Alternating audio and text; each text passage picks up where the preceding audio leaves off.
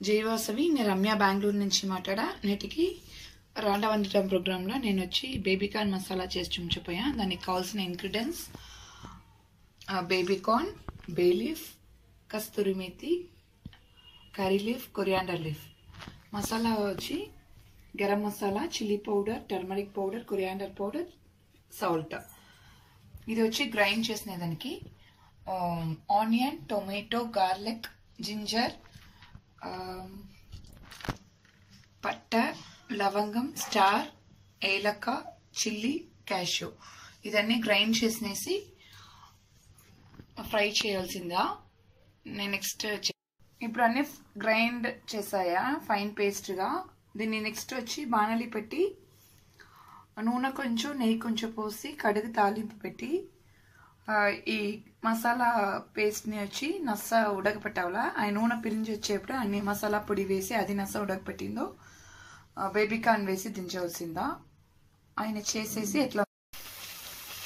వానట్లో వచ్చి నూనె పోసి తాలింపు గ్రౌండ్ పేస్ట్ని వేసిందాక ఈ మస ఉడుకుతా ఉంది. దీని వెంట ఇది కొంచెం పచ్చివాసన పోయిందో మసాలా పొడి వేసి ఉడకపెట్టావులా అది పచ్చివాసన పోయిందో మనం ఉడకపెట్టింది బేబీ కార్న్ వేసి పైక వచ్చి మసా ఉడిగిందో పైక కొత్తమలాగు కస్తూరి మేతిను గార్నిష్ చేసి దించవలా?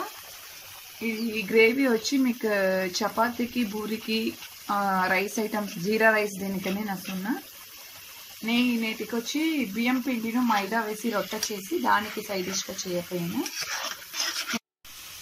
ఇప్పుడు గ్రేవీ మొత్తం ఉడిగాక ఇప్పుడు వచ్చి బేబీకాన్ వేసి కావాల్సిన నీళ్ళు పోసి ఉడకపెట్టి దించిన గ్రేవీ రెడీ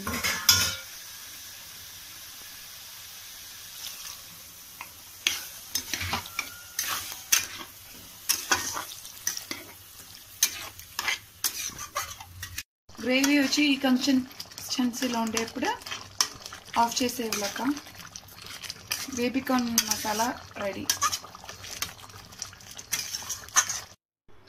ఇప్పుడు బియ్యం పిండిను మైదా రొట్టి plus gravy baby corn gravy ready అయిపోయా. అందరూ ఎత్తుకుండా అందరూ ట్రై చేసి ఉండక ఎట్లా ఉందని చెప్పండి ఫీడ్బ్యాక్ ఏందా? ధన్యవాదములు.